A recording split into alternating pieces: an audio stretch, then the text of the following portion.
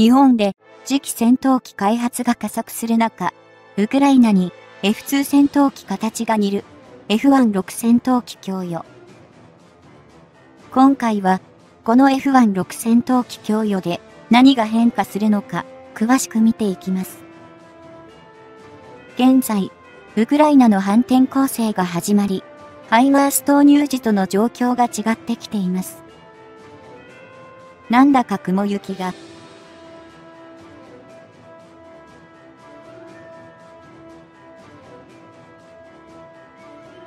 2023年6月上旬、ロシア・ウクライナ戦争においては、かねてから、時期に、ウクライナ軍による反転攻勢の実施が実行に移されると、西側諸国のマスメディアが盛んに報じてきたが、いよいよ、その動きが本格化したように見える。ただし、ウクライナ軍の反転攻勢の初動の作戦が成功していると判断するに足る視覚的な証拠は、ウクライナ軍の情報統制もあってか、なかなか確認されなかったが、6月11日には、南ドネツクのブラホダトネの村で、ウクライナ国旗が掲揚される様子が画像として公開された。ロシアサイドの軍事ブロガーを含む複数の情報源も、南ドネツク周辺の地域において、ウクライナ軍が一定の勢力圏の確保を行ったことを認めるコメントが増加しており、ここまでは、ウクライナ軍の反転攻勢は、効果を上げている感が強い。ここ数日の戦闘において、ウクライナ軍は、西側諸国から供与を受けた主力戦車、ドイツ製のレオパルト2を、ついに前線に投入したとの情報が見られていたが、それらの一部は、ロシア軍の砲爆撃で損傷を受けたことも確認されている。この事実をもってして、いかがな鳴り物入りで投入されたレオパルト2とはいえ、実際の戦場では破壊されうることは証明されたと、親ロシア派の大半は、歓喜の声を上げていたが、軍事専門家やウクライナ軍からすれば織り込み済みの過程であろう。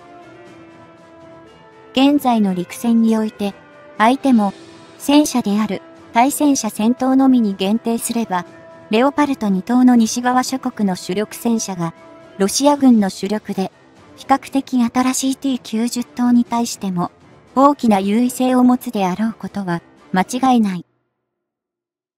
しかし、地雷原や残壕網、対戦車障害物を設置して、防備を固めているロシア側の前線を突破するには、ウクライナ軍側に供与された西側製の戦車とはいえ、多少の損耗は避けられず、切れは少なからず発生することは予期された。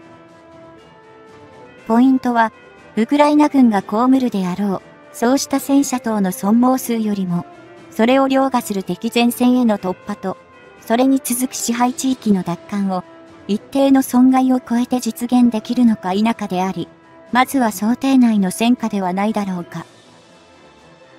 1991年の湾岸戦争、2003年のイラク戦争におけるアメリカ軍の M1 エイブラスやイギリス軍のチャレンジャー2等の主力戦車は、対峙したイラク軍の T72 戦車を一方的に撃破しての進撃を見せたが、これは事前の徹底した航空戦力の爆撃による全段階があってこそだった。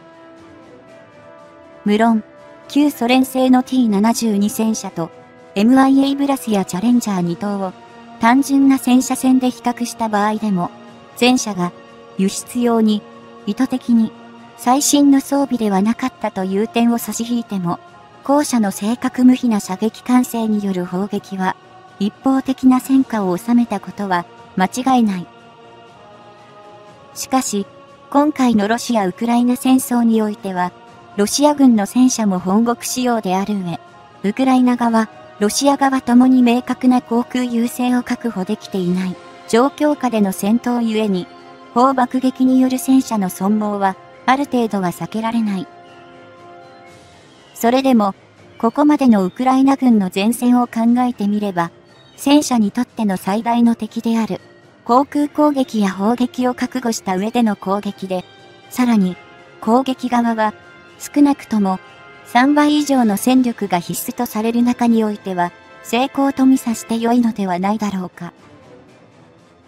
ただし、ウクライナ空軍とロシア空軍との戦力比は、およそ1対10ともめされており、ウクライナ軍が投入可能な航空機が100機以下にまで減少していると考えられるのに比して、ロシア軍のそれは、未だ1、00機を超えると想定されているいる。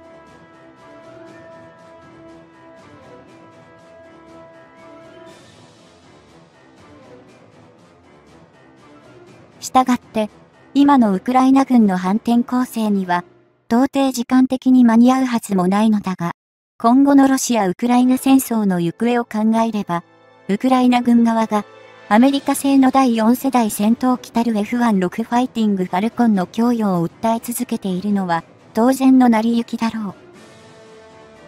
個人的には、いかに、自国内への侵攻を受けているウクライナ軍とは、いえど、西側諸国で、最新鋭のアメリカは、ロッキード・マーチン社製の、いわゆる第5世代戦闘機である F35 ライトニングにまでは希望して、ホラス、現実的な希望に止めているとさえ感じる。それでも、アメリカは、ロシア・ウクライナ戦争の開戦の初期段階から、ウクライナ側は F16 ファイティングファルコンの供与をことあるごとに求めてきたが、1年以上の期間にわたって拒否を続けた経緯があり、ここに来て、ようやく訴状に挙げられた形である。アメリカが、ウクライナへの F16 ファイティングファルコンの供与を渋ってきた最大の理由は、やはりそこまで踏み込んだ兵器供与に及んだ場合には、追い詰められたロシアが戦術核兵器等の使用を行うような可能性を危惧していた点にあるのだろう。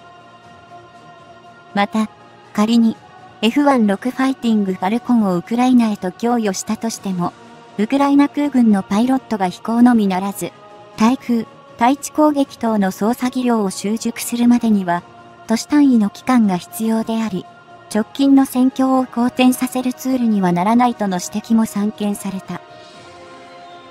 加えて、F16 ファイティングファルコンを、ウクライナ空軍が実際に運用するとなれば、その訓練、維持メンテナンスも含めた体制の構築には、膨大なコストが生じるとの見方も根強く、費用対効果の面をかなり疑問視する声も多かった。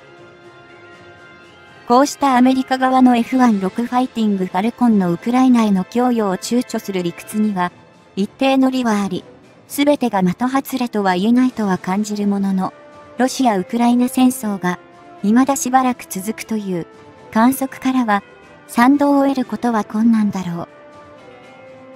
他にも、アメリカは、M142 高機動ロケット砲システム、通称ハイマースや M270、MLRS など多連装ロケット砲を供与したとはいえ、そのロケット弾は、最大射程がおよそ 80km ほど止めされるものに限定し、最大射程が 300km とされる MGM140A タクムス地対地ミサイルの供与は拒み続けている。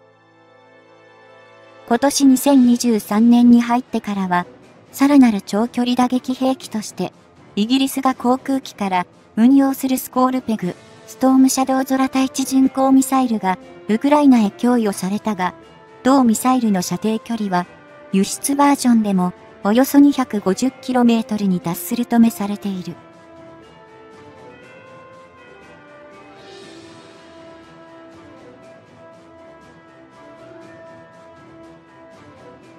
スコールペグ、ストームシャドウ空対地巡航ミサイルは、イギリス本国仕様の場合、その最大射程は、優に 500km を超過するとも言われており、この供与がウクライナ軍に行われても、ロシア側の西側諸国に対する圧力の具体的な増加は今のところ見られない。イギリス自体も、スコールペグ、ストームシャドウ空対地巡航ミサイルをウクライナ軍が使用して、ロシア領内への越境攻撃には用いないことを確約させた上での供与ではあろうが、なんだ具体的な西側諸国への報復策をロシアは取れないでいる。こうした現状を踏まえるならば、個人的には、アメリカも、ハイマースや M270、MLRS で運用可能な MGM140、アタクムス地対地ミサイルをさっさと供与し、先を見据えたウクライナ空軍の戦力増強のためにも、F16 ファイティングファルコンの供与を進める時期だと感じる。F16 ファイティングファルコンは、1974年に初飛行を行った、すでに登場から半世紀に近い機体ではあるが、ある程度の改修を経ていれば、射程距離が最大 120km の AIM-120D や、同 100km の AIM-120C を運用可能で、現状のウクライナ軍機に比すれば、倍増が可能な計算となる。運用に、整備やパイロットの育成等、膨大なコストが必要とめされる F16 ファイティングファルコンの供与より、より多くの防空ミサイルシステムを供与すべきという意見もあるが、個人的は両方とも並行して実施すべきだと思えてならない。